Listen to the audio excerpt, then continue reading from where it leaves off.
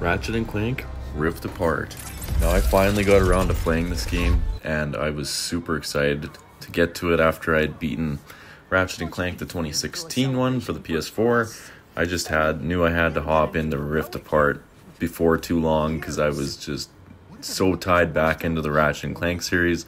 As some of you may know if you've been around on the channel for a while, I uh, I've only played the PS2 Ratchet and Clank games. I missed all the PS3 ones because I became an Xbox 360 kid after the PS2. So that was kind of the path I went, and unfortunately, I missed a bunch of the well, all of the PS3 ones. So yeah, I've been getting back into the Ratchet and Clank series, and I absolutely love it. They did such a good job with Rift Apart, and that's what I'm going to talk about in today's video. Now first, I gotta mention just how gorgeous this game looks. Like, they did such a good job. I mean, the PS5 graphics are phenomenal. It's actually mind-blowing to me coming from some of the games that I play that are PS4 games on my PS5 and then playing the PS5 games. I do notice a substantial difference in the graphics, the frame rate, just how the overall game looks and feels. Um, I notice a a very big difference between the PS4 and PS5 games, which is good because you know you're buying a PS5, you want to have better graphics than you would on a PS4. But this game just looks absolutely incredible. It's such a gorgeous game, looks phenomenal, plays phenomenal. And now let's get into a little bit about the story. So I remember Dr. Nefarious from Ratchet and Clank Up Your Arsenal as he was the main villain in that game, and he's the main villain in this one. Well, sort of. So basically, he uses the Dimensionator, shatters a bunch of dimensions, causes a bunch of rifts in the dimensions, and then you end up basically as Ratchet and Clank having to try and stop Dr. Nefarious. But by shattering all the dimensions and combining dimensions together, you end up getting a bunch of a mix mash of different characters and dimensional counterpart characters that are now colliding in the same dimension with each other. So instead of just Dr. Nefarious as your main enemy, you, all, you have Emperor Nefarious, his dimensional counterpart, and then same with Rivet and Kit as Ratchet and Clank's dimensional counterparts. So then, of course, your objective is to try and fix all the dimensions and get the Dimensionator fixed as it does get destroyed, and then you're spending a good portion of the game with a mix of Ratchet and Rivet, um, trying to do your job of fixing the Dimensionator so you can set everything right. Um, but of course, you end up running into different hurdles along the way, like you do with most games, and one of the big ones being Emperor Nefarious just keeps showing up and stealing whatever you're doing or blocking your way. And uh, Doctor Nefarious is just kind of like his little, I guess, minion, if you will. And it's kind of funny just seeing how wimpy Doctor Nefarious is compared to Emperor Nefarious, his dimensional counterpart. I just thought that was funny, and they did a good job with that. And I also thought it was really, it was different, you know, playing as Ratchet and Rivet. Of course, you guys can let me know now in the comments below. I plan to try and go back and play a bunch of the PS3 Ratchet and Clank games that I missed, but um, at least with the first three Ratchet and Clank games that I did play on the PS2, going the first game, Going Commando, and Up Your Arsenal, um, you only ever played as as Ratchet, and you had the odd little scenario here and there where you played as Clank as well in those games, but um, yeah, other than that, I mean, you never really played as another Lombax, anyways, um, in those old PS2 ones. So it was pretty cool to get to play as two different characters, and you had different planets that were tied to each character. So some, so basically, some planets you could only go on as Ratchet, and some planets you could only go to as Rivet, and that was how they divided the, I guess, who you played as on each planet, so you didn't really get to freely choose who you wanted to play as. It was all planet specific and mission specific. And now I want to talk about the weapons a little bit. So you had all these, I guess, upgrade trees that you could do for each weapon. You could upgrade whatever your favorite guns were with Raritanium. Very similar type of deal as the 2016 Ratchet and Clank game. So it was very very familiar to me after playing that game which was good. And i actually like this upgrading system. I mean you can just pick and choose your favorite guns to upgrade along the way. As you do level them up they will gain different abilities as well. But i really really like that upgrading tree and it gives raritanium a good use because then you can just keep keep upgrading your favorite guns and make them even better. And I really like the ammo upgrades; those were kind of my favorites that I kept doing. And then of course there was some other upgrades as well that would help with you know increased damage for direct hits or so on. Like for the Warmonger, I know that was that was one. If you got direct hits, then it would increase your damage that the rockets would do. So anyways, I really, really thought it was a good upgrade system. Again, very solid. And the leveling system for the guns was the same as it usually is. Um, you just have to do damage and use the weapon, and then you get them leveled up. So there was this arena type thing in this game on this one planet that reminded me so much of the arena from Up Your Arsenal which was the Annihilation Nation, I believe, is what it was called. Um, and that was, I remember loving going into that arena. That was my favorite place to go to upgrade my guns and Ratchet and Clank up your arsenal. So this arena in this game definitely gave me some deja vu and some good nostalgia from uh, Ratchet and Clank up your arsenal. Just reminded me of all the good all the amount of hours I spent on that Annihilation Nation trying to beat all the challenges, get all the bolt prizes, and then also just trying to upgrade all my guns too. So it was it was a good blast of nostalgia doing all the arena battles as well in this game. And in this game, just like every other Ratchet and Clank game, there are collectibles to find on each planet. So the first, firstly, let's talk about the spy bots. So the spy bots, there's 10 to collect, and by collecting them, you get the Rhino 8, which is the best gun in the game. The Rhino has always been and has been the best gun to try and get, or the most sought after gun to try and get in every single Ratchet and Clank game. At least in the old ones anyways it was yeah you were always i was always trying to get every requirement i could to get the rhino because once you got the rhino it just melted. And then i did get the rhino in the ratchet and clank 2016 game and it was unreal so the ratchet the, the rhino 8 in this game is phenomenal and by collecting all 10 spy bots you unlock the rhino so the spy bots kind of work as the counterpart or the same idea as the holo cards in the 2016 Ratchet and Clank game as the holo cards, and the 2016 one were the keys to get the Rhino. Once you collected all the Rhino holo cards, you got the Rhino. And in this game, the spy bots were that same key to get the Rhino. So I collected all the spy bots, got the Rhino just before the final boss fight, and it was an awesome gun to add to my arsenal of weapons for that final fight. Now, of course, just like all of the Ratchet and Clank games, there is always bolts to collect, but not just the regular bolts you collect throughout the game, the specialty bolts. So there is gold bolts to collect in this game, just like all the other Ratchet and Clank games. I believe in Up Your Arsenal, they were titanium bolts instead. For whatever reason, they changed it up in that game. But the uh, the gold bolts in this game work just the exact same as they did in all the other games, where they are just for bonus cosmetic cosmetic or a few gameplay, I guess, change buffs that you can do. So you can do like infinite ammo. You can do make your character have a huge head. You can change the way Ratchet's wrench looks. Like there's a bunch of different little things you can do with each amount of gold bolts. So in this game, they work the exact same. They're just little fun bonuses that are mostly just cosmetic or gameplay changes and they work the same as they do in any other Ratchet and Clank game, so gold bolts are another fun collectible to try and find on each planet as well. And then lastly, there was armor sets to collect, so that was the last collectible that I could find in each planet. So there was your armor sets, there was your gold bolts, and then there's your spy bots. So the armor sets were exactly as they sound.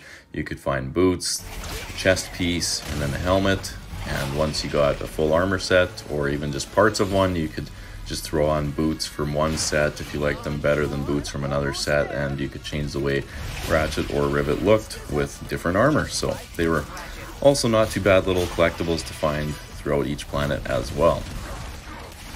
So that's definitely one of the things I always liked about the Ratchet and Clank games was the exploration to do on each planet to find the gold bolts, you know, try and get all the collectibles, and then also the exploration that you can do with various different things and the change the changes throughout gameplay that they always did where you have the grind rail sections and or the hoverboard races at least in the older games there was the hoverboard races and in this game there wasn't any hoverboard races but There was also the glitch sections where you'd throw glitch on to take care of some viruses on a machine. And then you also had these clank sections where you'd basically have to solve these little puzzles to get through to the end.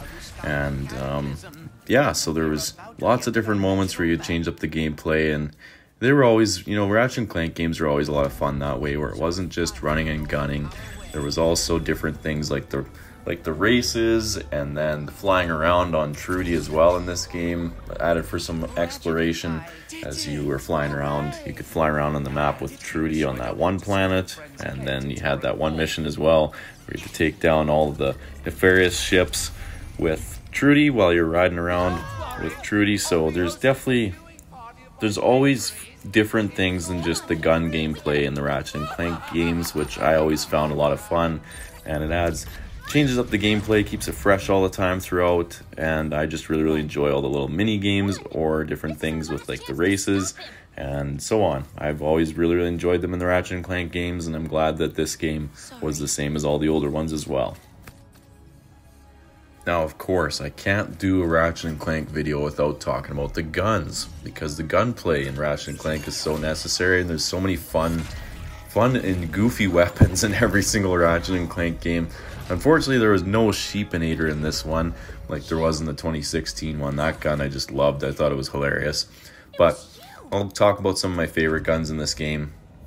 Honestly, my favorite gun was probably you know, I would I would say the Rhino, but I didn't really get to use the Rhino a pile. I only got it just before the end of the game. But I would say the Headhunter was awesome for having a sniper rifle type deal. The Negatron Collider was awesome for shooting those beams of fusion at every single enemy, and it was it would just melt bosses too. And then the of course the Peacemaker slash Warmonger is always a good gun. That gun is phenomenal in this game, just like it was. I believe it was it was called the Warmonger in Ratchet and Clank 2016 as well. And if it was, I mean, the same gun. It was just you know a little rocket rocket launcher, and it's awesome. It's always a very very good gun, and in this game, it was a phenomenal gun as well. I really really liked the Mr. Fungi, Miss Fungal gun as well. You just throw out these two little sidekicks that would just kind of stand there and or float there, I guess, and shoot the enemy. So I always, I really used that weapon a lot. Was the Miss, Fungal, Mr. Fungi weapon as well. The lightning, the lightning rod was all right there too. I didn't mind it. Um, and then the buzz blades were similar as they were in the past games. I remember a gun like the Buzz Blades. I don't know if it was called the same or quite the exact same, but I remember there being a gun like the Buzz Blades that was in Up Your Arsenal. So that gun was really, really good as well. And um, yeah, those were just some of my favorites there. The Black Hole Storm was really, really good too. It was reminding me a lot of that. Oh, I can't remember the name of it. I think it was the N60 Storm. I'm gonna have to look it up and see what it was, but there was a gun like it in the up your arsenal game as well. And I just remember really, liking it.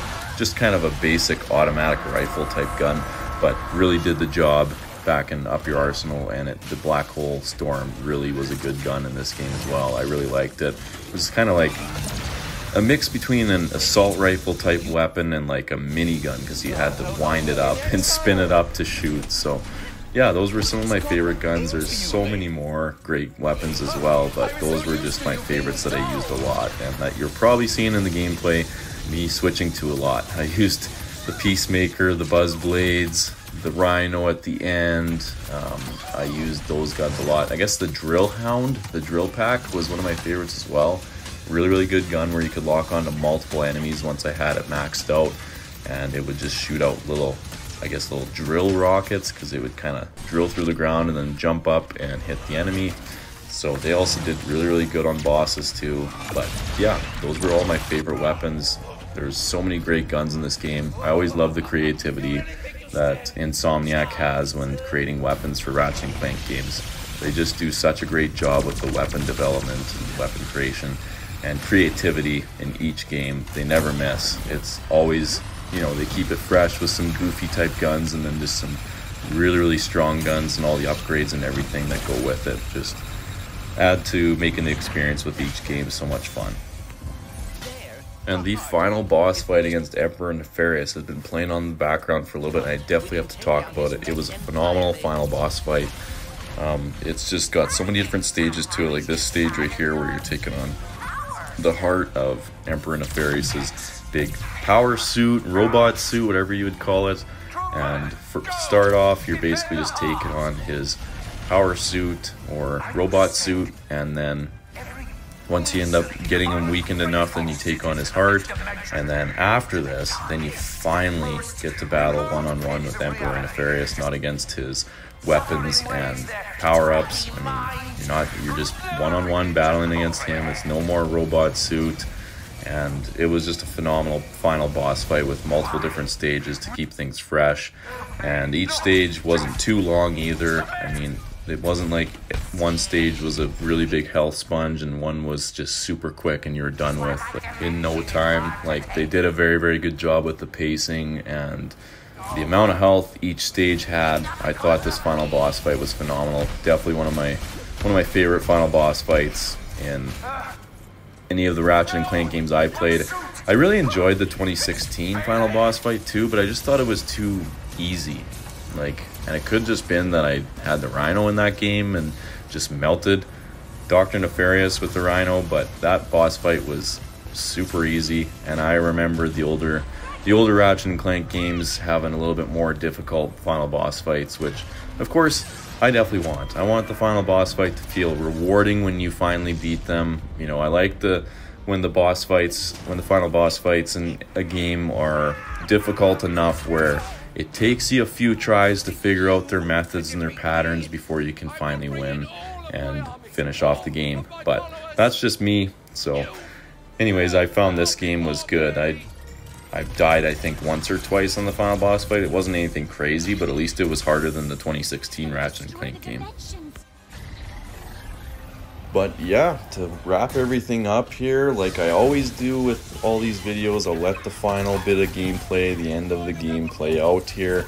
Unfortunately, for whatever reason, um, I don't know if it was just my game or this is a common glitch, but the final cutscene you'll see uh, Ratchet, his voice is muted. Like he doesn't, nothing, none of his words. He's he's his mouth is moving, but he's not speaking any words. So for whatever reason, there was some weird glitch going on with the final cutscene, which kind of sucked. Um, I would have liked to have heard what he was saying. It kind of ruined it a little bit, but yeah, just a forewarning that this the final cutscene you won't be able to hear Ratchet say anything. He's just mute for whatever reason. Maybe I found a new glitch. I don't know if anyone else has experienced that glitch, but yeah, I've yeah, that was a little bit of a weird glitch to have right at the end of the game. But yeah, I hope you guys all enjoyed this video. I absolutely loved Ratchet and Clank Rift Apart. It's, you know, these Ratchet and Clank games are just all phenomenal in my mind and some of my favorite. They hold a very, a very special spot in my heart because I remember just Ratchet and Clank Going Commando was actually my first game, my brother and I's first game on our PS2 when we were kids. So Ratchet and Clank Going Commando what holds a very special place in my heart as it was my very first game on our old PS2 back in the day. And although I missed the PS3 Ratchet and Clank games, I've always been a Ratchet and Clank fan. I I've went back and played those good old Ratchet and Clank PS2 games here and there over the years, and there was definitely times where I thought about buying a PS3 um, just for the sake of being able to play the Ratchet and Clank PS3 games, but anyways, now at least I guess I could sign up for PlayStation Plus and get to cloud stream play them now. So it's maybe someday I'll get around to doing that. And then if I do, I'll of course post videos on those games as well. But yeah, there's my long rant for the end of the video. I hope you guys all enjoyed it. And if you did, leave a like, subscribe for more, and I'll see you all in the next one.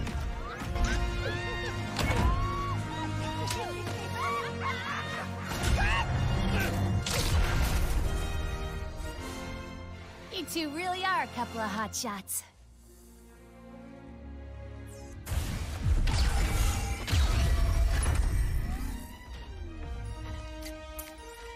I would love nothing more.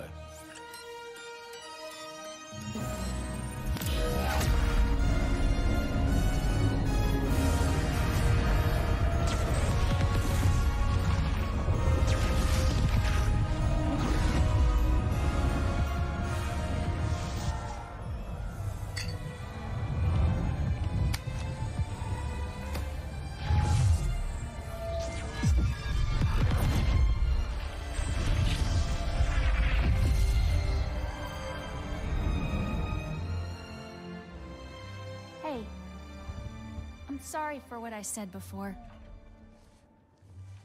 You're my friend. And thank you.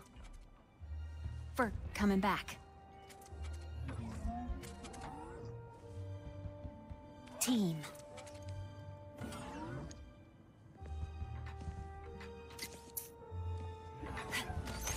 Yeah. Our dimension could use a couple heroes right about now.